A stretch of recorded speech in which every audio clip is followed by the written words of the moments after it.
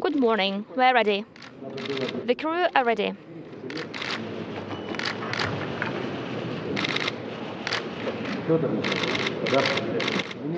Fyodor Nikolaevich, go ahead. Have a request. If you have, if you are to do something, please go ahead and do it. And keep talking what you are doing. Sure, I'll be talking all the time. No problem. We'll be talking. Next, please.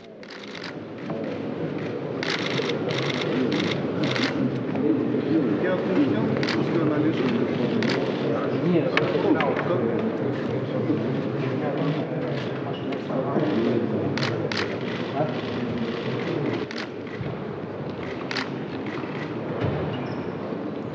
самое главное, после теории, сколько не надо таблетки нажимать? And the main thing, for how long am I supposed to press the button after? Well, I had been explaining for a long time and many things, many times already.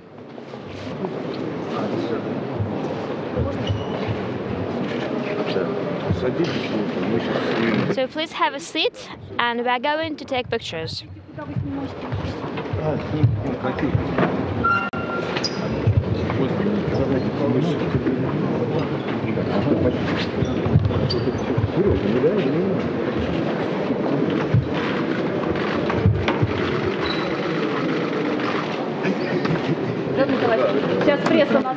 Fyodor Nikolaevich, uh, several minutes and uh, the media are going to ask you some questions.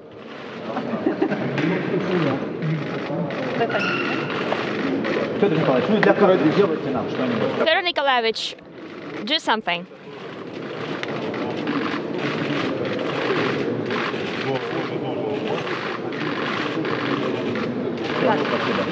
Давайте несколько вопросов зададим экипажу перед тренингом. Questions to the crew, please, prior to their Стефани, начинай. training. Stephanie, please go ahead. This is going to be your first launch aboard a Soyuz. What kind of challenges does this training for this launch have versus your training for your uh, mission on Shuttle Discovery five years ago? Um, certainly, technically, there there's a lot of similar challenges. Um, for me, probably the biggest challenge is the Russian language. Um, it's been a challenge for me learning the language. Um, hopefully, I've, I've learned it to a point where I can be an efficient and effective crew member and do all the roles that, that I need to do. Пожалуйста, Стас, можешь разобрать? Вот Yeah. ты Sorry, first of all, I would like to say thank you very much in and she is one of our crew member, one main our crew member. Yes? I agree. Yeah.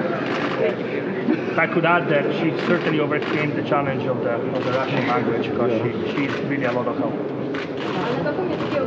What language are you going to use to communicate? Today we're going to use Runglish.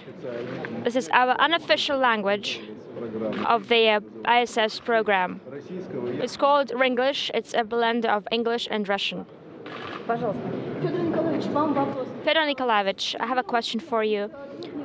The profile of rendezvous and docking has changed, and uh, the exam profile has changed too. You're now training four days instead of two. What do you think? Any improvements? Well, four against two. What would you say?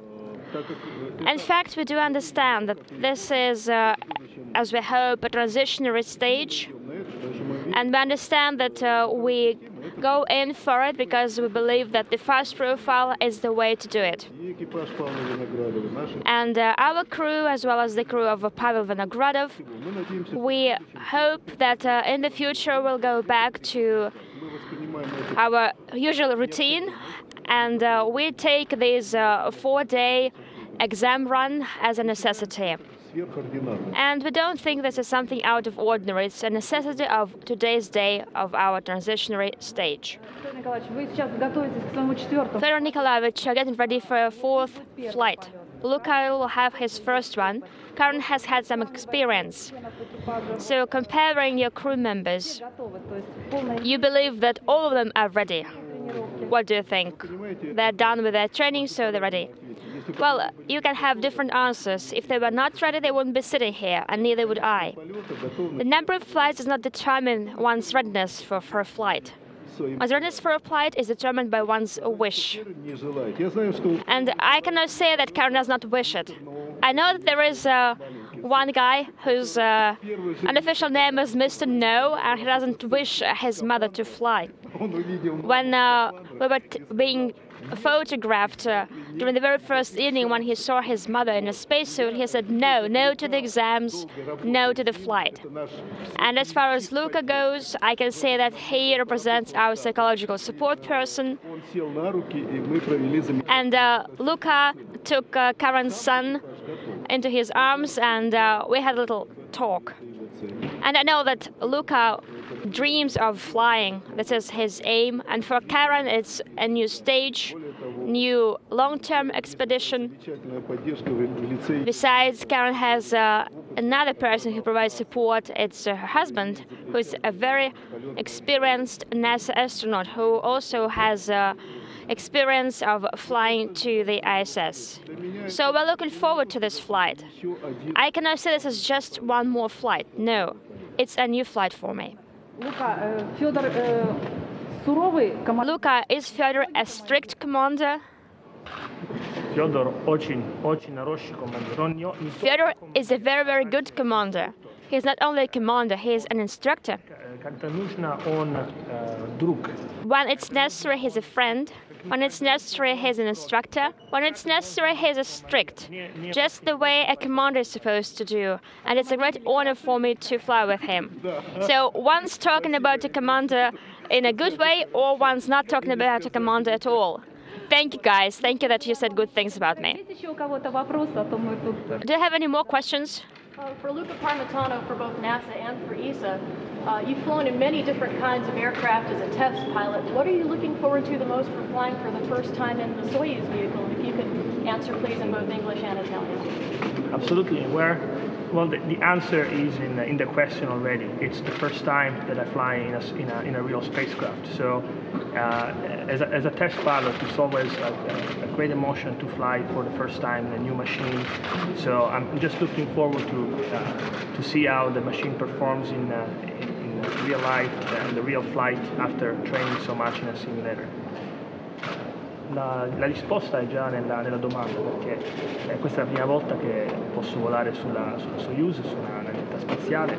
Eh, per un pilota collaudatore sperimentatore volare per la prima volta su una macchina nuova è sempre una, una fortissima emozione, quindi eh, sicuramente non vedo l'ora di vedere come, come lavora la, la, navetta nella realtà, nel volo reale, dopo tante ore passate nel simulatore.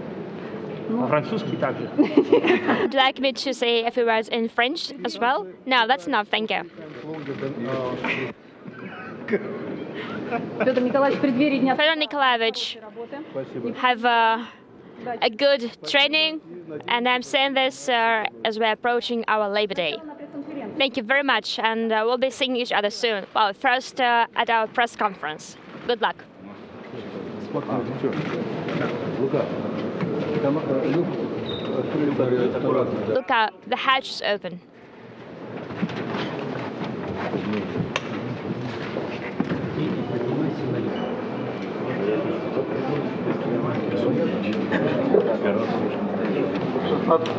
я Олег-1, посадку ВСА произвел, люка Сабову закрыт. The hatch is closed. Я 16 вас понял, люк из Сабова закрыт, раскрыт Copy. The hatch is closed. не горит. The indicator is not lit. Not lit, I confirm.